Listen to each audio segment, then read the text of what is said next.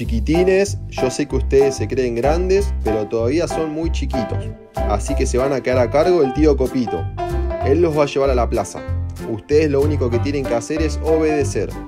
No lo hagan renegar, ¿sí? El tío los va a cuidar y les va a hacer la chocolatada cuando vuelan. Pórtense bien, ¿sí?